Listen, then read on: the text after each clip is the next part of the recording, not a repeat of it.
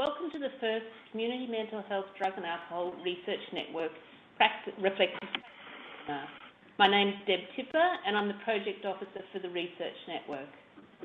Firstly, I'd like to acknowledge the traditional owners of the land on which this meeting is hosted, the Gadigal people of the Eora Nation, and pay my respects to elders past, present and future. I'd also like to value the lived experience of people recovering from either mental distress or drug and alcohol issues.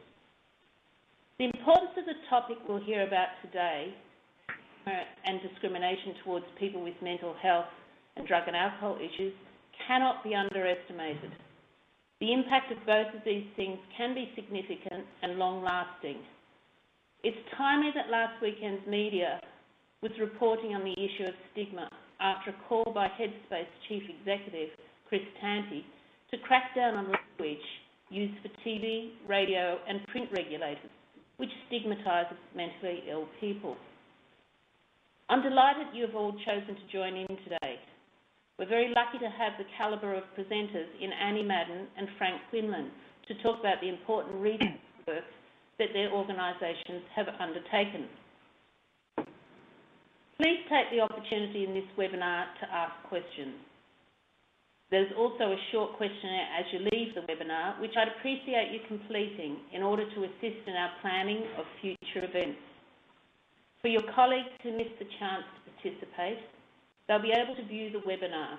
We'll post the link on the Mental Health Coordinating Council and the Network of Alcohol and Drug, and Drug and Other Agencies websites.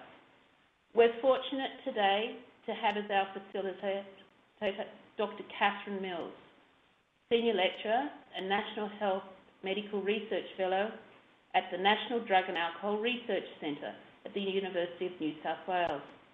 Catherine's also a member of our project reference group for the Community Mental Health Drug and Alcohol Research Network. It's with great pleasure that I now pass over to Catherine. Thank you, Deb, and good afternoon, everyone. Thank you for joining us. Welcome to our very first. Uh, in addition to what Deb said, I just wanted to outline uh, the purpose of these seminars, which is to develop participants' skills uh, to be able to read publications critically and appraise their value in terms of informing clinical practice. And we hope to do that each seminar by focusing on one or two publications on a topic of interest to both mental health and drug and alcohol. And each of these webinars will have a similar structure. So we'll start with presentations by one or two invited speakers who will provide an overview of the publications we'll be reviewing. And they will focus particularly on outlining areas that are important in the process of critically appraising the publication, so such as the purpose of the research, uh, the methods used, interpretation of the results, and implications for clinical practice. So each um, presentation will go for 15 minutes, and that will be followed by 15 minutes of discussion, and, and we very much welcome um, everyone to ask questions. Uh, but we do ask if you could please save them till the end, until that discussion time, uh, as some of your questions might be answered as we go along. Uh, so we won't answer them during any of the presentations, but we'll save them for the end. So now I'd just like to uh, introduce our first speaker today, uh, Annie Madden, who's the Executive Officer of the Australian Injecting and Illicit Drug Users League, or AIVL, which is the national peak body for state territory drug user organisations and represents issues of national importance for people who use or have used illicit drugs, drug treatment consumers. She's been working in the areas of illicit drug use, bloodborne viruses, harm reduction, alcohol and other drug treatment, and drug user representation for over 20 years. Annie was an injecting drug user for over 15 years and is currently on the methadone maintenance program. She has a degree in social sciences, currently a postgraduate degree with a focus on human rights and international law. And also, in addition to that, um, although Annie probably wouldn't say it herself, uh, she was inducted into the National Drug and Alcohol Honour Roll, uh, reflecting her outstanding contribution both to national and international drug policy, um, and having views, experience and insights of drug users taken into account in the development, implementation and evaluation of drug programs. Thank you, Annie. Okay, thank you, Catherine, um, for your kind introduction. Um, welcome. Hello, everyone who's uh, watching this presentation today. Um, I've got quite a lot to get through in 15 minutes, so I'm going to get straight into it. But first, I would also like to just acknowledge the traditional owners and to uh, pay my respects to elders past and present. Um, I'd also just like to thank the Community Mental Health, uh, Drug and Alcohol Research Network uh, for inviting me to participate in this today and inviting AIVL to be part of this. We're really um, very pleased to be able to participate in this first webinar um, and really support the, the, aims of the program. Um, so I'm going to get straight into my presentation. Uh, we've already talked about who AIVL is in terms of being the national peak body for the peer-based drug user organisations and representing people who use or have used illicit drugs, including people in uh, drug treatment programs. So um, in that context, I'm going to be uh, talking today about um, a, a, range of work under our um, AIVL National Anti-Discrimination Project. Um, and uh, in particular, though, I'm going to be talking about some market research that we did and a report, which is the title of pre my presentation, uh, Why Wouldn't I Discriminate Against All of Them, which was actually a quote from one of the general, uh, one of the participants um, in our market research from the general community who um, felt really expressing um, no discomfort in terms of uh, discriminating against people who um, inject drugs. Nevertheless, um, I'll, cover back on those issues as I work through. So an overview of my presentation is that I'm going to look at our um, national anti-discrimination project and quickly some of the timeframes and funding um, and the evidence base behind that. I'll also look at the purpose and goal of the project, in particular uh, the goals and objectives and the target groups. I will also be looking at the research phase of the project, which will be the major part of the presentation. First of all, looking at our independent market research that I've already referred to, and then looking at the AIVL report on stigma and discrimination, which is the Why Wouldn't I Discriminate Against All of Them report, and then finally looking very quickly at the project phase, which is just going to take you through quickly the work we're currently undertaking, I guess, on the back of that research phase to sort of implement some of the findings and issues we uncovered there. So I'll work through those three major projects. Okay, so the overview of uh, the Anti-Discrimination Project. Uh, basically, our work on this commenced in 2009-10, and it continues into our new two-year program that we've just been funded uh, for, we've just signed contracts for, so that'll go over 2012-14. Um, now, it, interestingly, uh, I know we're sort of talking in the drug and alcohol setting today, but our funding for this project is actually provided by the Bloodborne Viruses and STI section of Department of Health and Ageing. And part of the reason for that is because uh, that's where uh, the majority of AIVL funding comes from. In fact, we're not actually funded to do any work in the drug and alcohol area specifically. And um, I guess what the research and the available evidence shows us, however, is that um, hepatitis C related discrimination, or what is often referred to as hep C related discrimination, is really inextricably linked to injecting drug use into the fact that you can really not separate them. And so often, what is uh, pe people with hepatitis C, when they experience stigma and discrimination, it is almost always either about actual history of drug use or presumed uh, drug use uh, associated with their bloodborne virus status. So um, we basically were able to successfully convince DOHA that in order, before we could ever look at addressing stigma and discrimination towards people with hepatitis C and all of the implications of that, we really needed to address the fundamental issue of stigma and discrimination against people who inject drugs, um, particularly, and the evidence shows this, in the health system, the media, and in the employment or workplace environment. The purpose and goals of the uh, Anti-Discrimination Project is to dispel misconceptions about people who inject drugs, to reduce stigma and discrimination towards people who inject drugs, and to remove barriers and improve access to health services for people who inject drugs. So you can see in that context, um, it obviously has much broader implications than simply focusing on hepatitis C or bloodborne viruses, although uh, that's clearly one of our major aims. The target groups uh, for our work under, the project are largely four groups, the, general public or general community, the media, um, healthcare professionals in the health system, and then people who inject drugs themselves. Okay, so I'm just now going to sort of talk about the research phase of the project, and in this case, firstly, I'm going to talk about our market research.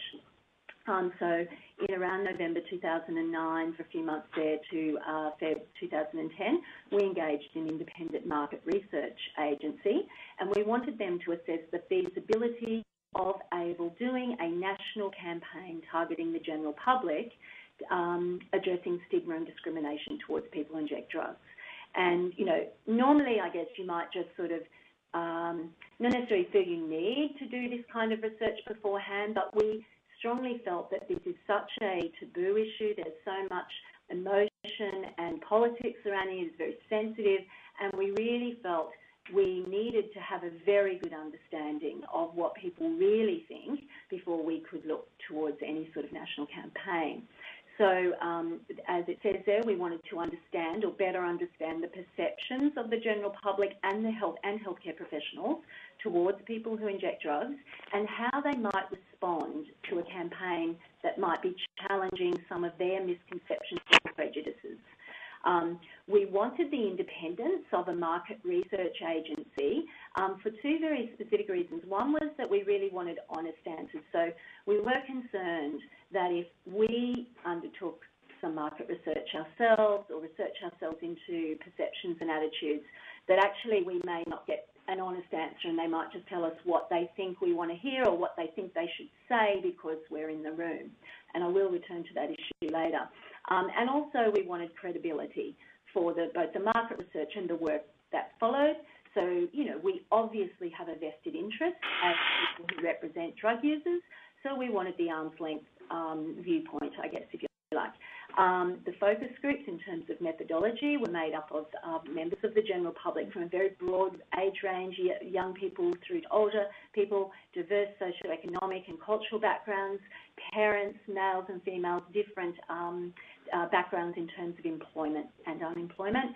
Um, we were actually advised by the market research company to select for a more progressive people in terms of their attitudes towards people who inject drugs, which in itself I know sounds unusual, but I mean, it just goes to the problems in this area because the, even the market research company was very concerned that actually if we just selected really totally randomly, that the attitudes could be so full on that we just may not get any anything productive from it, which is really quite scary. Um, and then we also did some focus groups, or they did, with healthcare professionals, and they included GPs, emergency nurses, and pharmacists.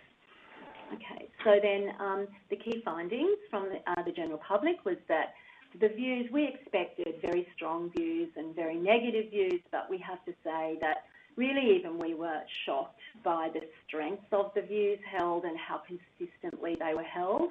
Um, the young people in the sample tended to be a little more tolerant of drug use, particularly if they had some personal experience of illicit drug use, not injecting drug use um, per se, but more, um, you know, occasional illicit drug use. Um, they had more of a belief that it was about personal choice as long as it didn't affect other people, and that was quite critical. And for really all of the people in the general public group, there was a very clear line between what they saw as, as acceptable and non-acceptable drug use. So social drug use was acceptable, uh, such as dropping a knee or something occasionally um, on a weekend or whatever. But once you started using alone and or injecting drugs, then it very quickly became unacceptable and people are seen as being irrational and having uh, no control, no rationality, no control over their decision making. Um, injecting is also seen as crossing a line. So you've crossed this line and therefore there's no sympathy for you. Um, you deserve everything that you get. You've made your bed, so to speak, or your choice, and you, you need to live with it. Uh, that came out very strongly, as did the stereotypes about who people who inject drugs are. So that was a very classic criminal, dirty, smelly, threatening, selfish, you know, a loser, dishonest and untrustworthy. Those were the sorts of words that people routinely used in the general public group to describe what they saw as people inject drugs. Um, there was most definitely a fear of people who inject drugs. Um, people talked about avoiding areas where they thought drug users might be, um, and they were afraid that they're, once again, irrational, um, uh, out of control, that, that they will harm them, that they'll do something bad to them, um, physically harm them or emotionally harm them. And um, but it was really interesting, despite all of these very strong and very clear views on who drug users are and and you know exactly what they look like and and you know the kind of people they are. Actually, they all admitted that they didn't actually know any people. They didn't. They don't think they know anyone who is a drug user. And what that's speaking to, I guess, is people are basing it on the very visible minority of, um, of drug users who maybe um, are in public places and doing it really tough. And so when they come across injecting drug users who may not fit that stereotype, they don't actually recognise them at all or see them as potentially as drug users. Um, one of the more uh, interesting things as well is the general public reacted, uh, some of the sample, very negatively and even aggressively when there were exercises using images that were seeking to challenge or question accepted stereotypes. Um, and, and that really sent us a very clear message about just how careful we were going to need to be if we wanted to run any campaigns that might challenge stereotypes about injectors because we could very quickly um, risk having a backlash or a negative response to any attempts to address or challenge stereotypes. Um, their information and reference points about who drug users are and what they do and the lives they live clearly came very strongly from the media and from government policy. Uh, from the terms they were using, there was a real fear of contagion, fear of you know being infected with AIDS, so to speak. Um, media reports on discarded public, uh, publicly discarded injecting equipment featured strongly, as did the language, you know, the war on drugs type language, um, and that that language in itself uh, engendered a sense of fear in people who inject drugs as the enemy. Um, there's a very strong lack of empathy for anyone who injects drugs. Um, basically, uh, there was a strong feeling that stigmatising and discriminating towards people who inject drugs is actually a good thing to do, that you're making a positive contribution to the community if you do that, because it will act as a deterrent. People won't take it up, people won't do it. Um, and that's despite the fact that we have a lot of evidence to say that isn't going to be the outcome of such behaviour, but uh, nevertheless people think that's the case. And um, there was some very slight empathy for people who seen to be doing something to help fix or change themselves, such as someone in drug treatment, but others still saw that as, no, that's not okay, they're just people trying to get free drugs. So overall, there was a very strong lack of compassion.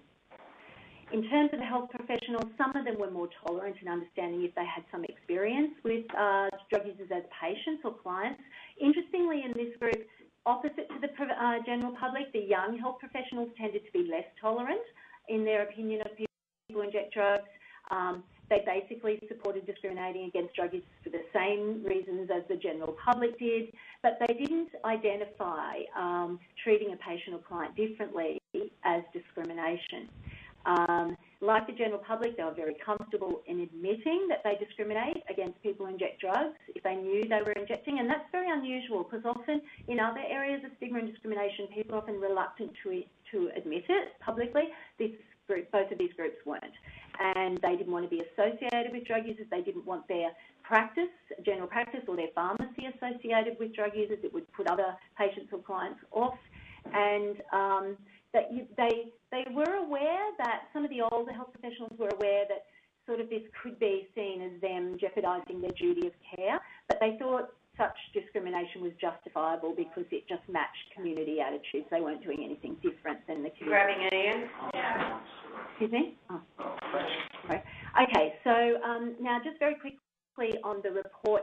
So we did this report following the market research because after the market research, we felt that told us quite a lot of things, but um, we really felt it didn't go far enough. It told us what is going on, but it really didn't go far enough to tell us what is, you know, actually how we managed to get to here, I guess, you know, that we're in this situation that, um, you know, drug users are literally social pariahs um, and that our lives are seen as having no value. Um, people even express in, um, the desire, you know, to, to see people dead. It's a very, a really strong sense of dislike and hatred for drug users. So we wanted to know how we managed to get here historically and how do we start to change this? So in this report, we, um, you know, as I said, felt we needed to look back before we could look forward. Um, it's very difficult in a um, phenomenon like this to single out one single action or definitive point in time where you can say that's where our attitudes to people who use either illicit drugs or inject started changing or developing. But we did find a range of like key historical determinants, if you like, points or key factors that did lend to what has become over time, and I'm talking over many hundreds of years, quite literally, attitudes have slowly developed. And they were, we had to go back as far as like the Industrial Revolution and the growth of cities and things like urban planning and when you start seeing the proliferation of factories and OH&S and profitability and where employers, you know, started to need to care about whether their workers were inebriated or not factors that wouldn't have mattered so much when people were just perhaps back on their farm or on their land. And so that then, you know, starts mingling with the keeping of statistics and the process of othering that we've, I've mentioned here, where you start distinguishing one kind of from another. Morals start coming into that about who's good and who's bad and what behaviour is morally good and bad, which then leads in with the growth of organised religion and things like the growth of the Protestant work ethic and the temperance movement that very much ramped up the moral. This conference is now in presentation mode. Um, and then also looking at uh, the impact of immigration increasing, cultural diversity, habits and practices coming into countries that perhaps hadn't been there before, um, the rise of the medical profession and uh, the pathologisation, if you like, of drug use as a disease. And of course, as we get later into the um, more recent times, we start to see a proliferation of new policy and legislation following the Vietnam War and of course the, the utterance of uh, Richard Nixon in terms of the language of the war on drugs, which uh, utterly changed the world forever for all of us. And, and we've really seen since that time in the 60s a continuation and growth in these very negative attitudes towards people who inject drugs. Um, basically, uh, we also in the report, um, and I'll just quickly summarise it here for you, but we do look at also a review of contemporary narratives relating to people who inject drugs and attitudes towards them. So looking at uh, concepts such as the impact of illegality and just, that as a justification for stigma and discrimination, the fear of contagion issue, um, the whole uh, use, I guess, of needles and syringes being seen symbolically as weapons, as things people could be attacked with and that, as, that are dangerous, and also the impact of the media or mass communication on social attitudes. Um, we also have a bit of a review in the report about contemporary social theory relating to both people who inject drugs and attitudes towards them. So we look at concepts such as criminalisation and what's called um, structural violence. We look at the uh, issue of social, legal, economic and cultural determinants of health, uh, social and cultural violence, and the whole issue of labelling people, um, the, the, concept of social capital, and how users um, tend to take on strategies, I guess, to pass in society, to get by without people knowing that they're drug users. And so we look at all of these sort of a lot of work that has been done in this area in social theory terms to look at um, how attitudes we might have today towards people who inject drugs, how they can be explained and understood.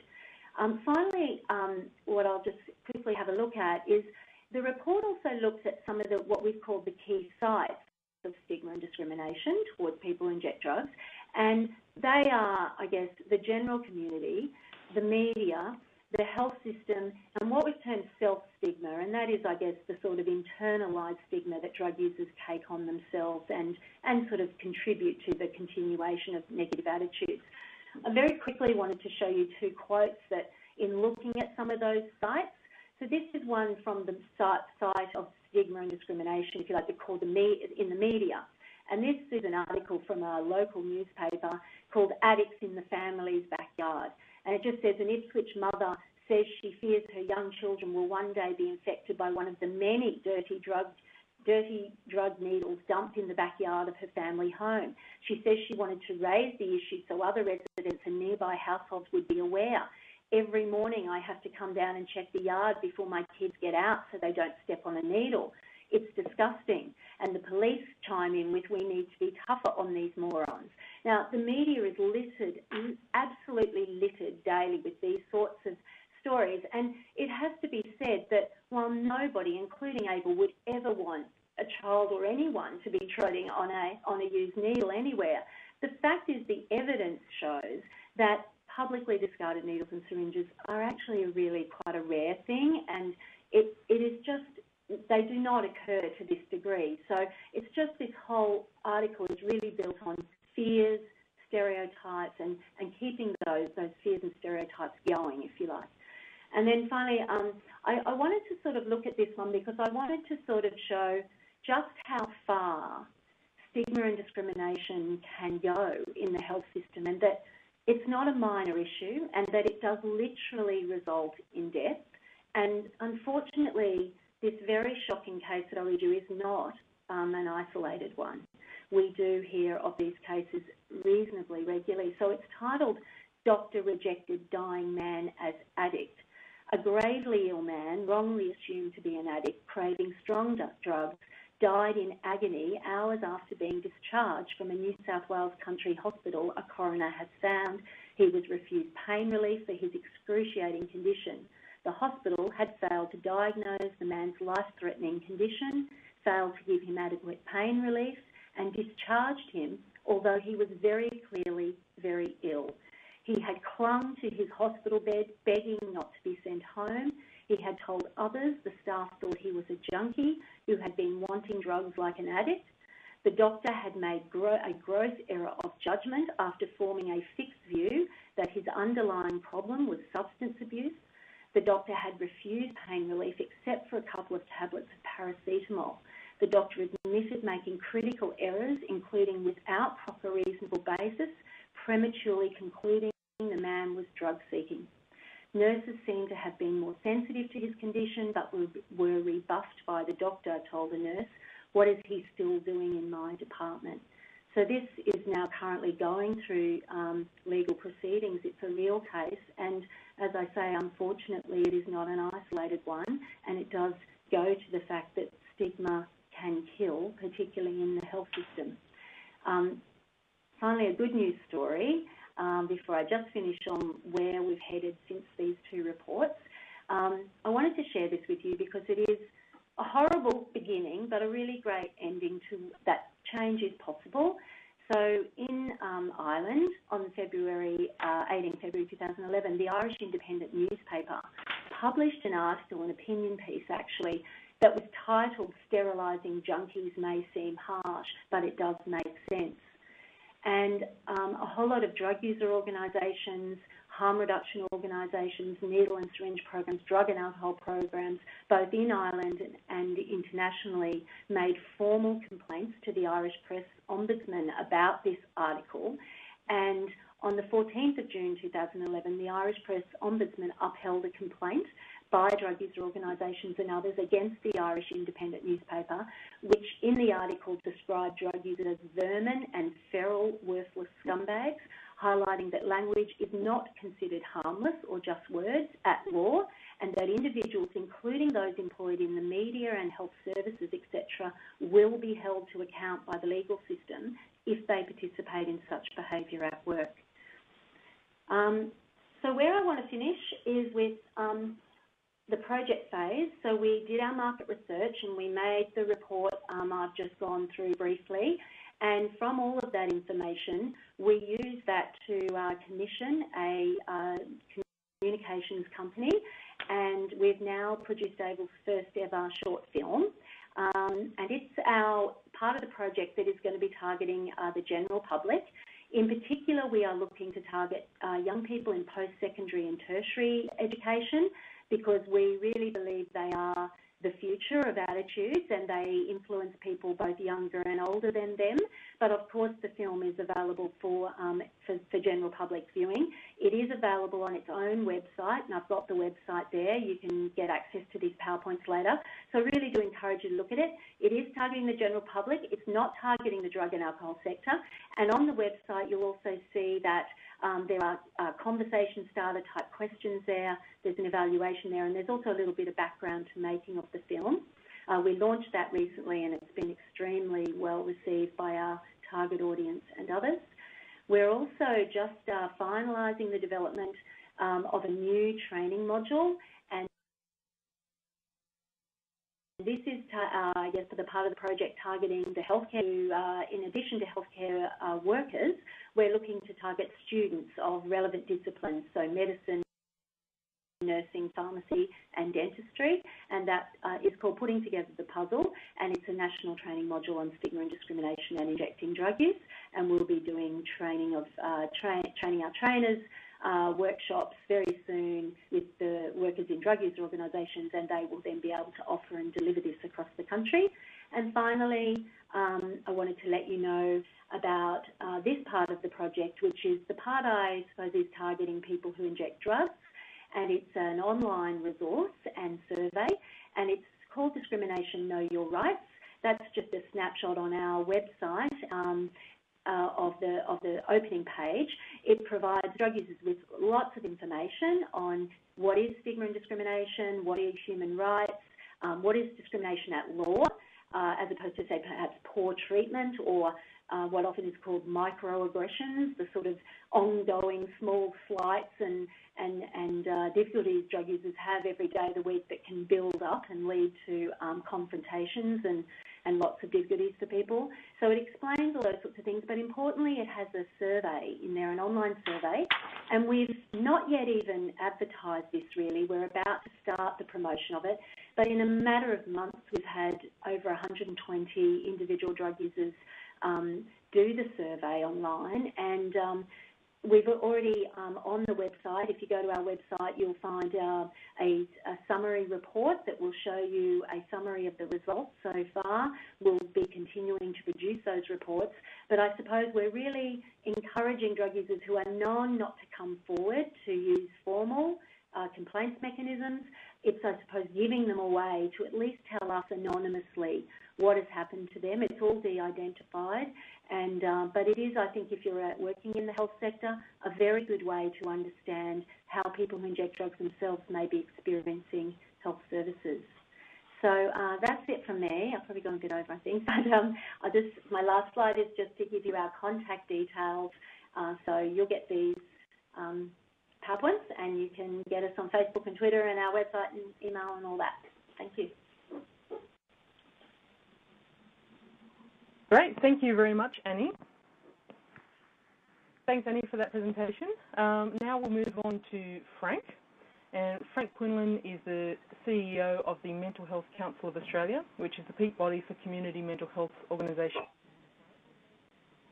And Frank was previously the Executive Director of Catholic Social Services Australia, a peak national body um, for social services in Australia with 69 member organisations providing social and community services to over a million people each year. Uh, Frank has a long history of working in the not-for-profit sector, having previously worked at Grasmere Youth Services, Tranmere Street Youth Refuge and the Australian Drug Foundation, and having held senior positions at the Alcohol and Other Drug Council of Australia and the Australian Medical Association. Frank is a member of the Australian Government's Not-for-Profit Sector Reform Council. He completed his tertiary studies at both Monash and Melbourne universities and has been a guest policy um, programs at the Australian National University. Frank has published and contributed to a number of papers and has been quoted widely in the media on a range of social issues. Thank you, Frank. Thanks very much. Um, thanks very much, and I guess I should, uh, as well as thanking our, our host, the Community Mental Health, Drug and Alcohol Research Network, uh, for the opportunity to speak. I should also thank you for the honorary doctorate that I see you gave me in the um, some of the promotional materials. I was I was delighted by that. My studies didn't take me that far, uh, sadly. So I'm uh, not not Dr. Quinlan. Uh, but very pleased to uh, to present some information about some of the work that the Mental Health Council of Australia have been doing in this uh, space. To begin, um, very briefly, just for those who aren't aware, that the Mental Health Council of Australia is the national peak body in the in the mental health space. So, in addition to the community mental health organisations that have already been mentioned, we really do have quite a diverse membership of national organisations uh, organisations representing consumers and carers, um, different clinical parts of clinical practice and so on. So we really are a sort of pretty broad uh, church in that sense, and we're uh, quite uh, uh, proud of our engagement with the National Consumer, National Mental Health Consumer Carer Forum, and you'll hear me talk uh, about them a couple of times during our presentation because they gave us particular assistance in the in the preparation of this report. Uh, I'm going to try and skip through a little bit, so just so that we've got a little bit of time uh, left for questions at the end. But I wanted to acknowledge up front uh, that um, this, this report actually preceded my time here at the Council, but the report was principally conducted by Rachel Irving, who was our um, Director of Research at the time. It was done with funding from the Department of Health and Ageing, and it, uh, as I've already said, uh, worked closely with the National Mental Health Consumer and Carer Forum uh, to really fashion some of the questions and to test some of the ideas that were part of the survey. And I'll come back to that a couple of times because I think from a methodological perspective, the opportunity to be really quite closely engaged with consumers and carers themselves in the development of the research was probably one of the really important factors, I think, in in terms of a contribution uh, to its success. I also, before I got into my presentation uh, specifically, really wanted to uh, acknowledge and mention a couple of consistencies with the presentation that I noticed as Annie spoke.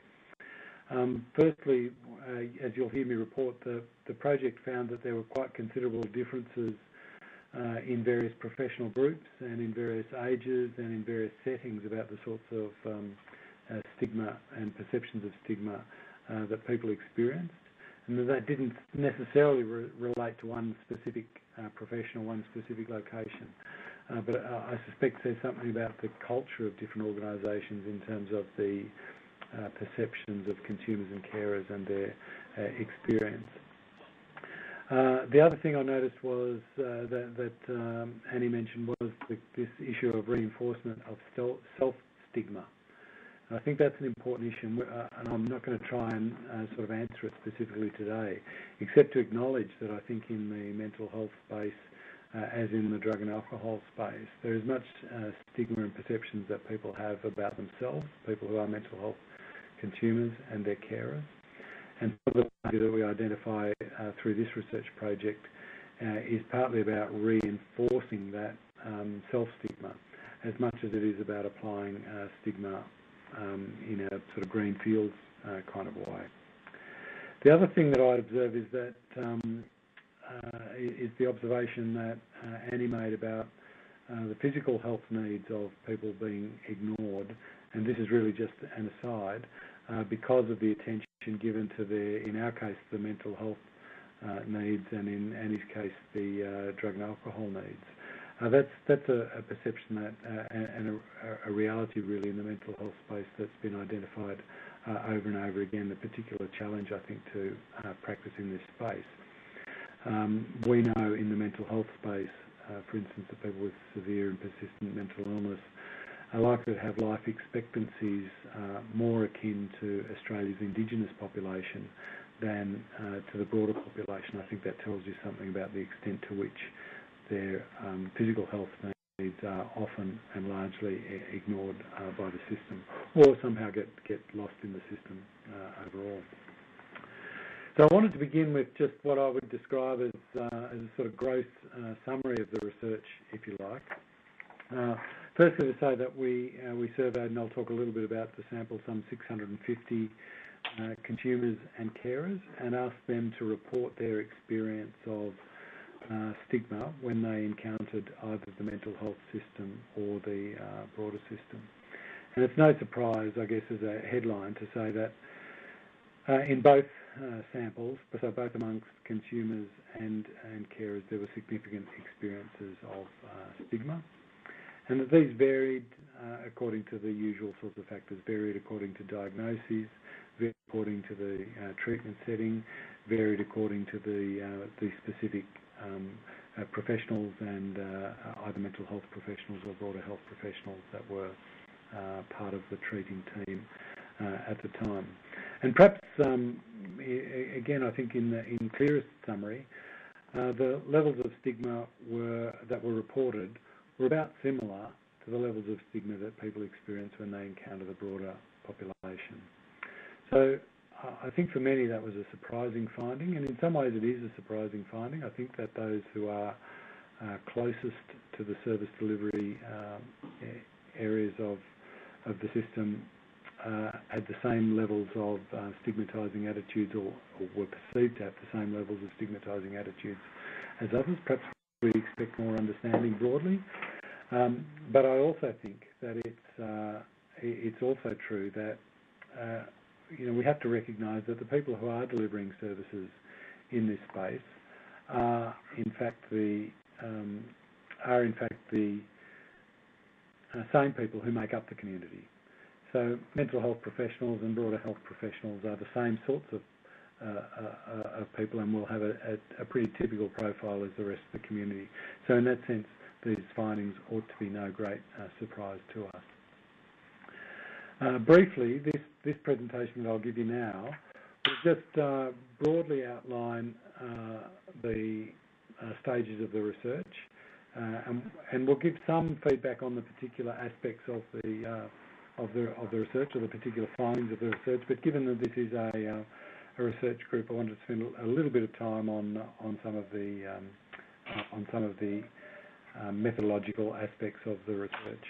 So, in, in short, I'll talk about uh, briefly about the literature review, about the survey methodology, the results that we found, and then and then perhaps hint at, at some discussion. We began with the literature review, as much uh, much research does. And it's fair to say, I think that broadly, uh, this was uh, the literature review suggests that our findings were broadly consistent with the international literature. Not a um, uh, not a significantly well uh, described area of research, though there are pockets of research.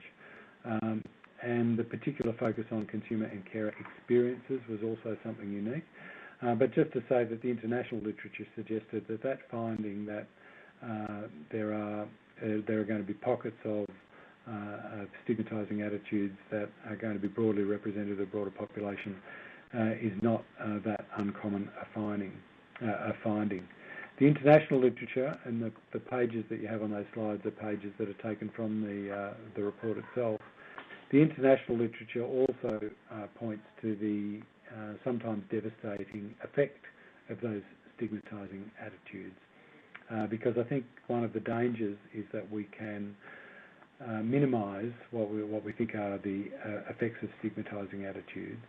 And I think part of what uh, these sorts of research projects, the one that Annie's identified and this project to do, is highlight the need for us to take those stigmatising attitudes seriously because of the impact that they have, uh, not just as we now as we now know on the mental health outcomes, but on the broader health outcomes uh, for both consumers and carers. It was also reported in, uh, in the international literature that there was no uh, clear understanding of why these attitudes would persist amongst uh, mental health and broader health professionals, and no particular understanding of why they would be different in uh, in uh, particular settings. And uh, I think that's one of the areas where possibly there's an opportunity for us to identify future work. Uh, in addition, uh, I think that there's uh, an opportunity for us in terms of um, perhaps linking together some of these issues around perception and stigma and linking them to the opportunity to conduct research into how programs to destigmatise and to reduce stigma can be effective. But to go on and talk about the survey methodology just briefly, I've already acknowledged the important uh, work uh, of the National Mental Health Consumer and Carer Forum in their engagement uh, with this project.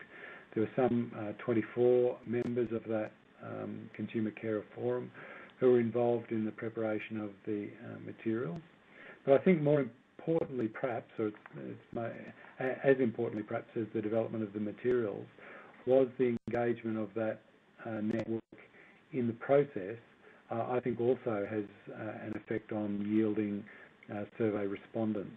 So the survey uh, respondents in our case were a self-selected sample, a convenience uh, sample. So I think the work that um, researchers can do in engaging with groups like the uh, Consumer Care Forum and, others uh, from the design stages of the, of, of the project are likely to be very effective in terms of uh, attracting uh, respondents and attracting uh, people to that survey. Uh, it goes without saying that the uh, two survey instruments had to be quite different for uh, consumers and carers. Although they were based on similar sorts of survey formats, the, the um, customization of the instruments, I think, was also very important in terms of both attracting respondents and ensuring that uh, the, the responses were, were appropriate. It's, our survey was quite a long uh, survey. I don't know off the top of my head remember the number of questions, but quite a long survey. And so I think the um, the effort that is taken in terms of the engagement uh, with people directly about clarifying those uh, survey questions and uh, is very important in terms of ensuring that people are, are then able to complete the survey. As I said uh, earlier, it was a convenient sample, uh, and we had some uh, 427 consumers who completed the survey and some 250 almost carers who completed the survey. So although it had some limitations in terms of its, its sampling, it was quite a significant sample size, and I think that gives us an opportunity to draw some strength from the uh, from the findings. It is, of course, only a, snapshot, and as I'll say later on, I think some longitudinal work that would allow us to compare the changes in attitudes uh, over time would be a valuable additional contribution as would uh, uh, work that was uh, designed to ensure that the programs that we might implement to reduce stigma and to reduce stigmatising practices, we could we could use these kinds of surveys to address their effectiveness.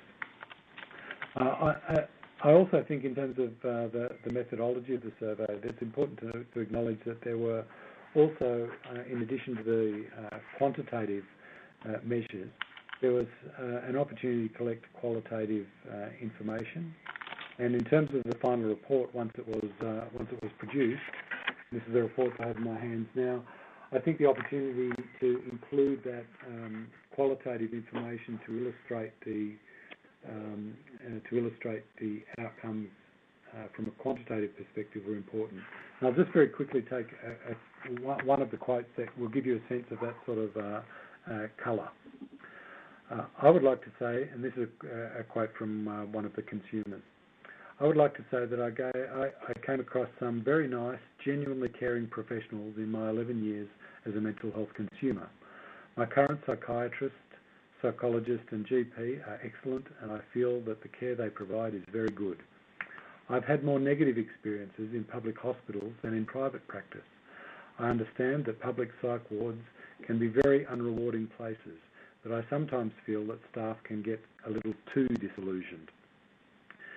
The poor communication between the public system and my private doctor can lead to more stigmatising assumptions when my descriptions differ from the official record.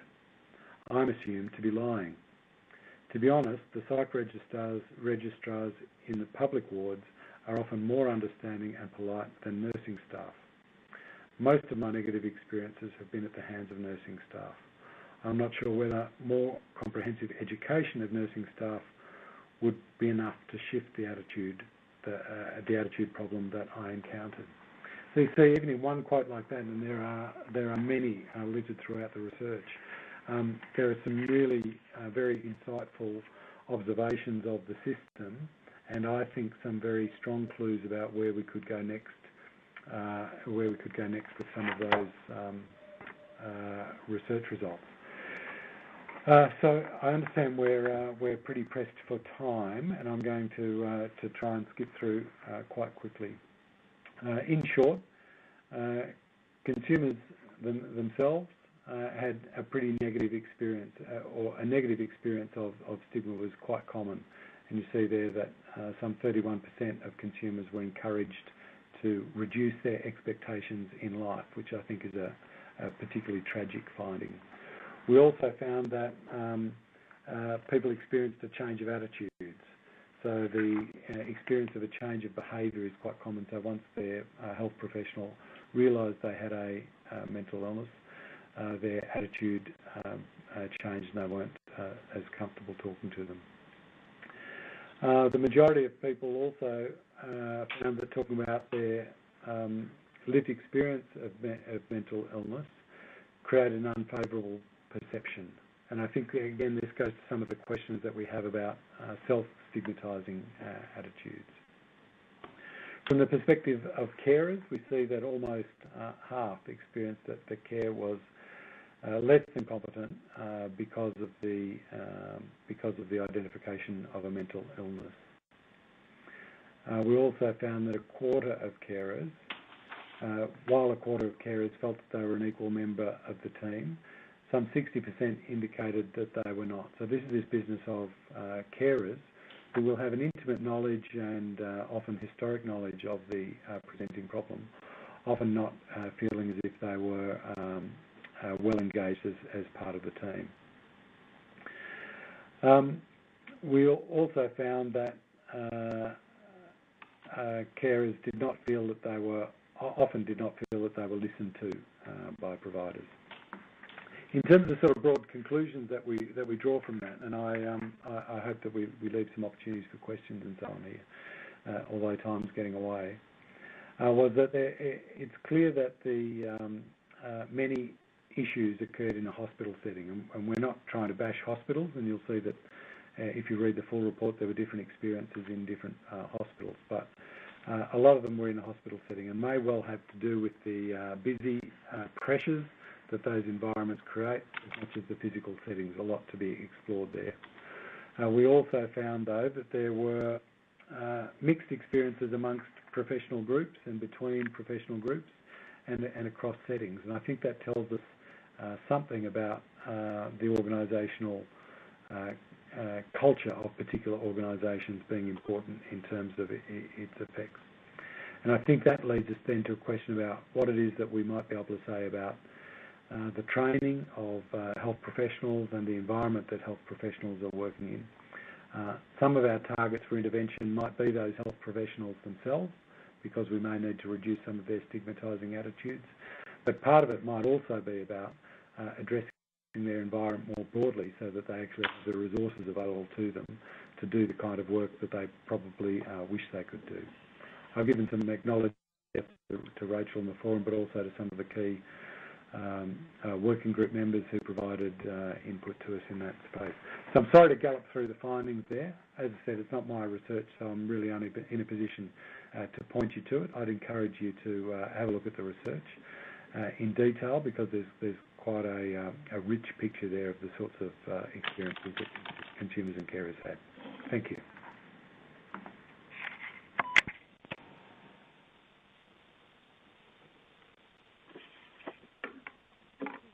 Frank. Not sure if it's back to me, Kath, now. Hello, everyone. Thanks, Kath. Um, wonderful. Thank you so much to both of you for those presentations. So we move on to the discussion part now, which um, we've got uh, seven minutes for, but I think we do have the capacity to go a bit further if, if there is interest in, in maintaining an ongoing discussion. We got a few questions pop up, and please feel free, um, others, to send through your questions if you have some. Um, but just the first one from um, one of the participants was if you could both explain, perhaps first starting with you, Annie, a bit about the ethics processes that you had to go through uh, in order to do your research. Yeah. Okay, so um, probably to be clear that um, in the case of the second report, it's not, uh, it wasn't research, it was, uh, you know, a, a report, I guess, we researched um, historical facts and uh, social theory, and you know, it's more of an analysis, I guess. So that's not uh, looking at researching participants. The market research was, as I said, done by an independent uh, market research company that went through standard ethics um, approval processes that they're required to undertake. Um, and AIVL didn't, you know, undertake the market research itself. Uh, but in terms of our online survey, um, as a non-government organisation, AIVL obviously isn't required uh, to undertake um, formal ethics uh, clearance for, for a survey like that. But uh, we take those issues really seriously, and we do actually have our own set. And as far as I know, they are the only of their only sort of type of their kind in the world. A set of uh, ethical guideline, research guidelines for people doing research with uh, drug users illicit drug users and injecting drug users, which we've had for some time, and we always ensure that the work we do uh, follows those guidelines and they meet all the standard types of ethical uh, inquiry. We also um, talked with a number of key senior academics in research around the country about uh, ethical requirements and just ensuring getting review of our survey and all of that to ensure that the benefits are, you know, outweighing any potential negative, you know, risks or possibilities, um, and ensuring that we were asking things appropriately, protecting people's confidentiality. So all of those uh, ethical kind of clearance factors have been ticked off, but as an NGO, we're not required to do that formally. There's no clear body for us to go to. Um.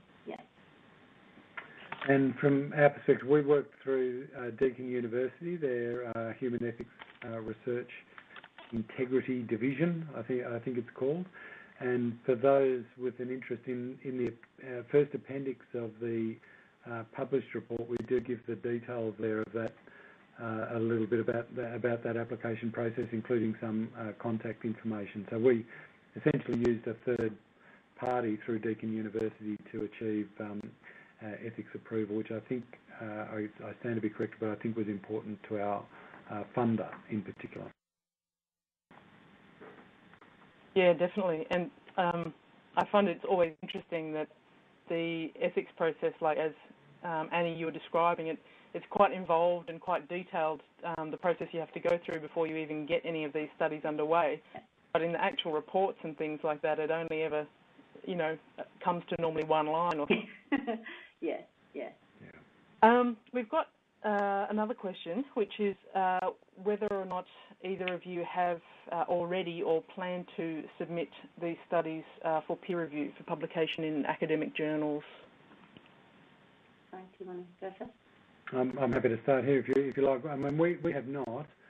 Um, it's uh, the work, work of the Mental Health uh, Council of Australia is broadly targets our involvement in the sort of public policy discourse, if you like. So our research is principally aimed at um, influencing the public debate and the public discourse.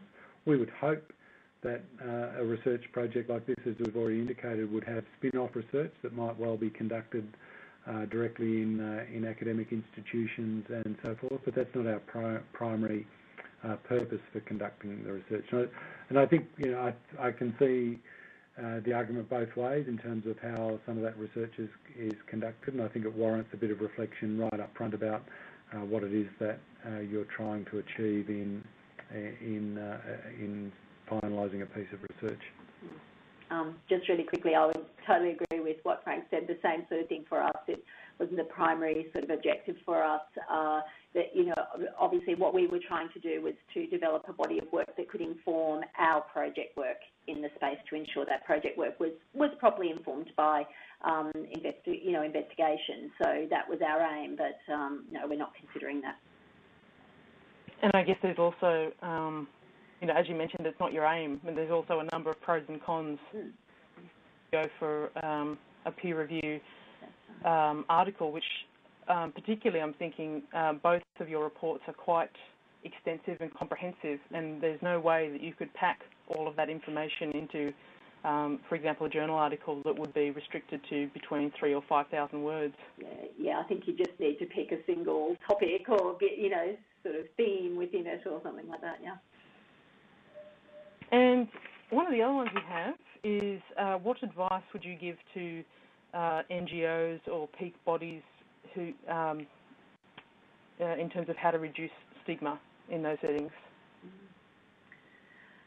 Ah, well, um, I, you know, at the risk of sounding a little sort of self-interested here, you know, obviously that's uh, part of our aim with our new training module is to encourage, uh, as we once we finish training the trainers um, and do some promotional materials, we really hope that both through AIVL at the national level and then our state and territory bodies at, at the local level to um, encourage organisations and services in the health sector and, and universities uh, for health stu related students uh, to take up that training, to start, I suppose, providing opportunities for these issues, to just even have a conversation, just to open the door to discuss some of the issues we do recognise, and through the development of our training module, one issue I'll quickly mention is that we do actually really sort of recognise that these can be quite confronting issues for people, and particularly our professionals, because you know people work hard to get to where they are and get their qualifications, and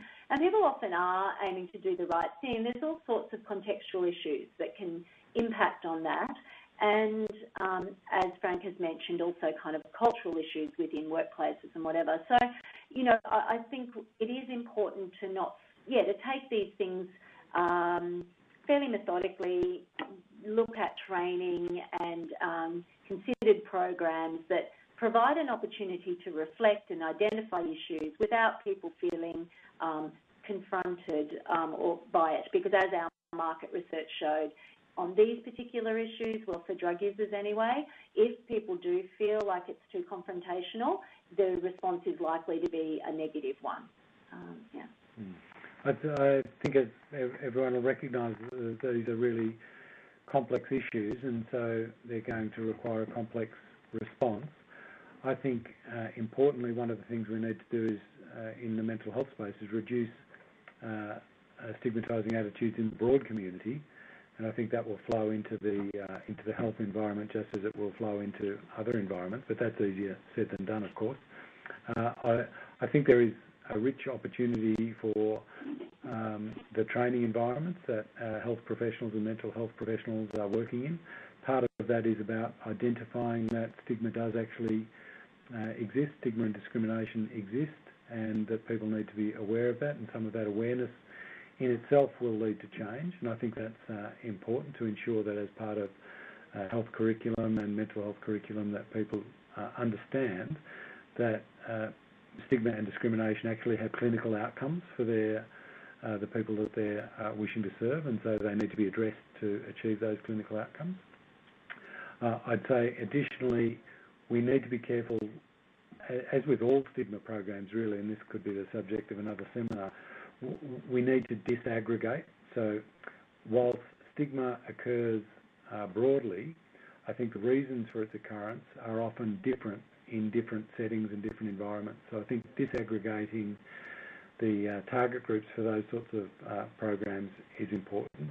And then lastly, uh, I think we also need to look honestly at uh, the sorts of environments that we're asking people to work in and and to better understand what sorts of contribution the particular environment uh, can make to work cultures and so on. If people are flat stick and dead busy and worked off their feet, then um, you know we can naturally expect that uh, practices in a whole range of fronts won't be quite up to the same standards that we'd hope for.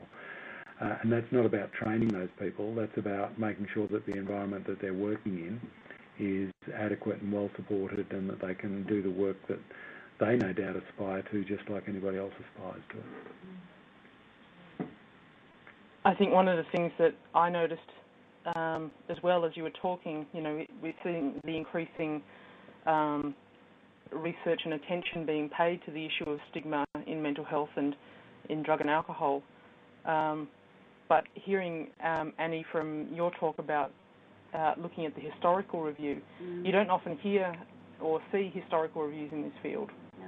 And it really kind of has highlighted how very well entrenched, um, you know, going back such a long way. So, in terms of trying to fix this hmm Sounds like it's going to be something that, like many things, can't happen overnight, but it really does need a, a sustained and big effort. Absolutely, and it's precisely why, well, you know, for our part, which is we're a small organisation, that we really felt like, you know, if we don't take this on as people who inject drugs or people with a history of injecting drugs, if we don't take it on, no one is going to really. And um, so we had a very important, we felt we had a very important role to play, in, but it is why we decided to take a kind of comprehensive project-based approach and have different parts of the project that all link together and can be used together in different ways, but are targeting different parts of the issue and different target groups.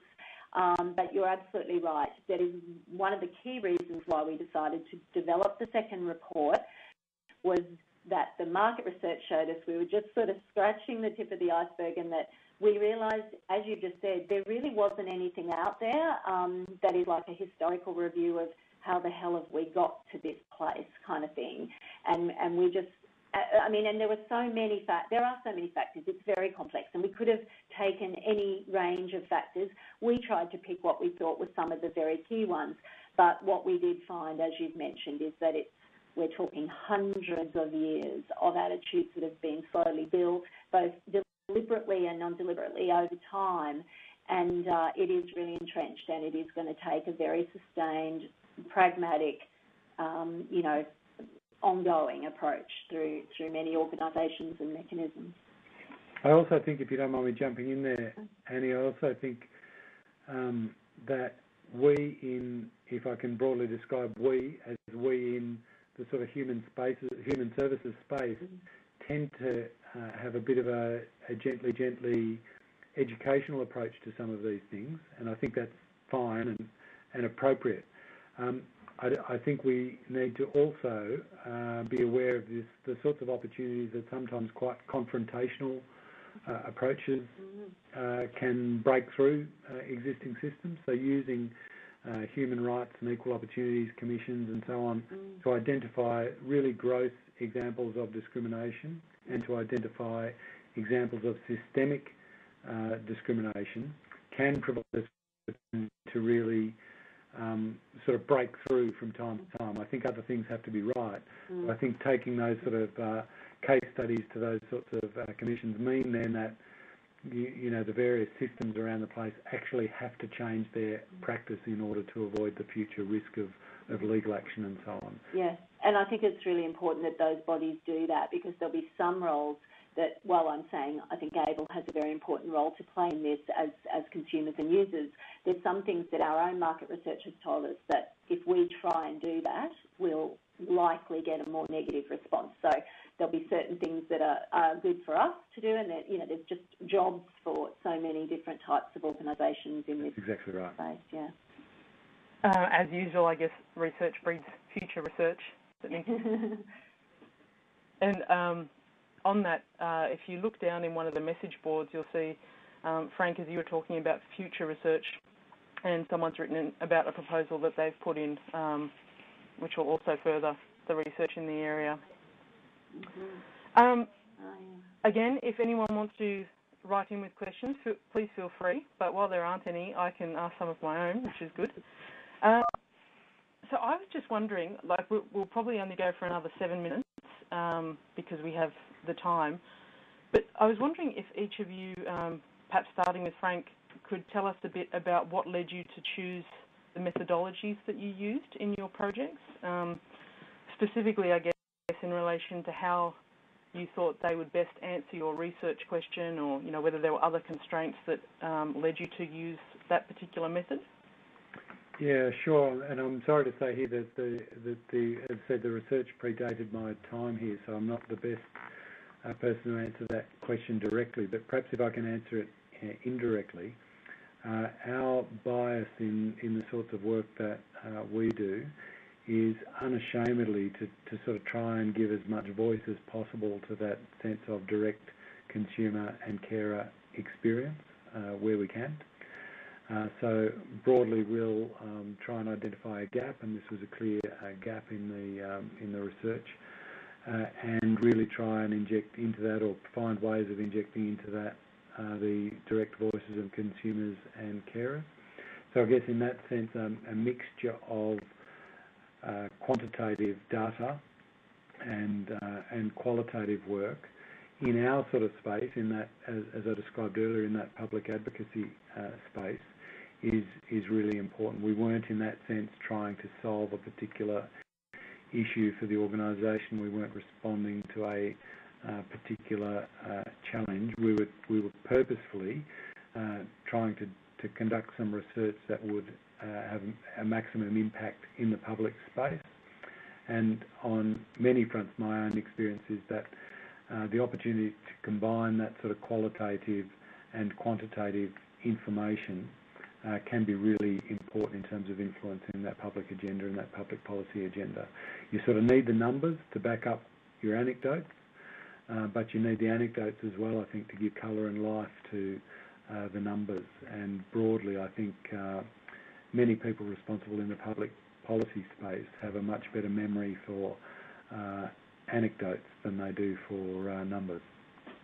Yeah, and that's um, you know definitely what you see in, in a lot of the research is you know combining those quantitative and qualitative uh, methods in, in a mixed methods or triangulation approach to try and really give life to and meaning more depth to the to the numbers. And as I already gave with, with just the, the one quote that I gave, you know, there's also, in, as I said, even in that one quote, which is, you know, less than a, a hundred words, you know, there are three or four really key ideas, I think, about future research and future interventions in this space. So sometimes the numbers don't lead you to the solutions.